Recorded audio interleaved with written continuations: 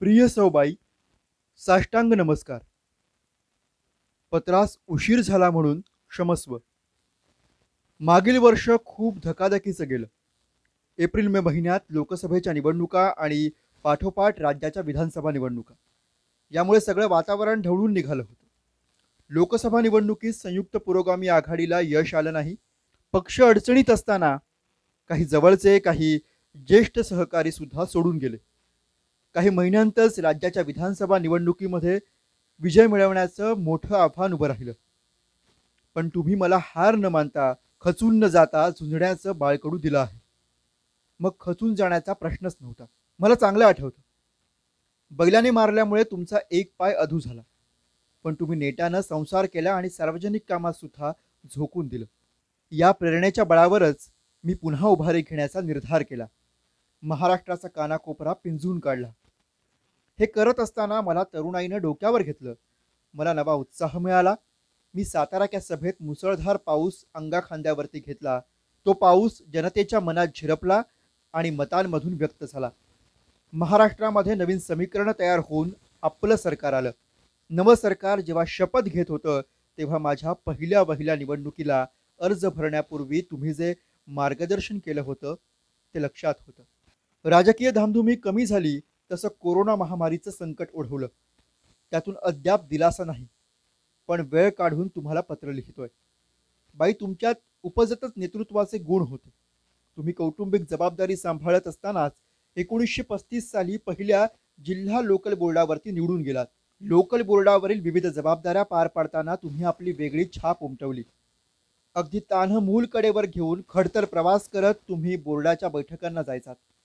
कळत नकळत हे सगळे संस्कार माझ्यावरती झाले आणि मी सार्वजनिक जीवनात समाधानकारक कामगिरी करू शकलो.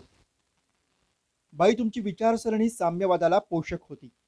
मी मात्र गांधी नेहरू यशवंतराव चव्हाण यांच्या काँग्रेस पक्षाच्या विचारधारेकडे ओढलो गेलो.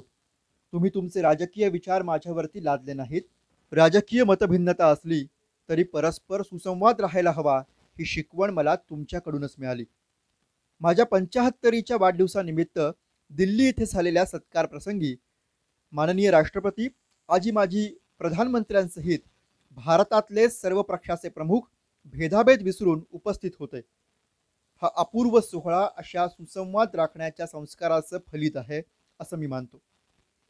त्या सत्कार प्रसंगी तुमचीच मूर्ती माझ्या डोळ्यासमोर दिसत होती. बाई कौटुंबिक जबाबदारी आणि सामाजिक बांधिलकी या दोन्ही बाबी समान न्यायाने सांभाळत सामान्यांसाठी अखंड काळ काम करत राहण्याचा आपण दिलेला सल्ला मी जतन करीत आहे.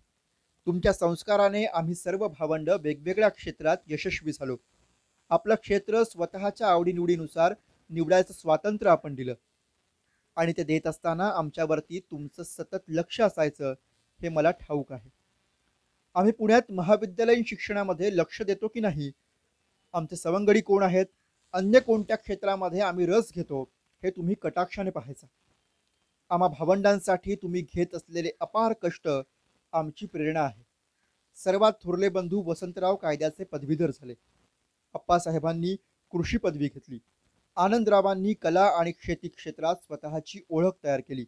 बापूसाहेबांनी लंडनला बोटीने जाऊन तिथे नोकरी करत इंजिनिअरिंगचं शिक्षण घेतलं. सूर्यकांतरावांनी बडोद्याला जाऊन सयाजीराव गायकवाड विद्यापीठात आर्किटेक्चरचं शिक्षण पूर्ण केलं. धाकटा प्रताप इंजिनियर तर झालाच पण त्याने वृत्तपत्र व्यवसायात सुद्धा लौकिक मिळवला. बाई तुम्ही बहिणींना सुद्धा शिक्षण दिलं. त्या आपापल्या संसारात भक्कमपणे उभ्या राहिल्या आहेत. तुम्ही आमच्यासाठी एवढं काही केलं पण आम्हा भावंडांची तुमच्याबद्दल एक तक्रार आहे. मी एक दिवस राज्याच्या प्रमुख पदाची जबाबदारी स्वीकारावी असं तुमचं स्वप्न होतं. पण मी राज्याच्या मुख्यमंत्री पदाची शपथ घेताना तुम्ही नव्हतात. अप्पासाहेबांना आणि प्रतापरावांना पद्मश्री मिळाली तेव्हाही नव्हता भारत सरकारने मला पद्मविभूषण पुरस्कारानं सन्मानित केलं. त्यावेळी पुन्हा तुमच्या आठवणींनी मी हळवा झालो. चेहऱ्यावर लवलेश दाखवला नसला तरीही तुमची आठवण मनात आजही एक पोकळी निर्माण करते. मनात गहिवर आणते. बाई आज तुमची नातवंडसुद्धा निरनिराळ्या क्षेत्रामध्ये आपला ठसा उमटवत आहेत. तुम्हाला आम्हा भावंडा आणि नातवंडांकडे पाहून खूप खूप समाधान वाटत असेल. हे मात्र नक्की. दिवाळीमध्ये सर्व कुटुंबियांनी बारामतीला एकत्र यायचं हा तुमचा निर्णय आम्ही सगळे अगदी कटाक्षाने पाळत आहोत. मात्र ऐन दिवाळीमध्ये तुमची खूप उणीव भासते. अधिक काही लिहित नाही आहे आपण आणि तीर्थरूप आबा काळजी घ्या. तुमचा शरद.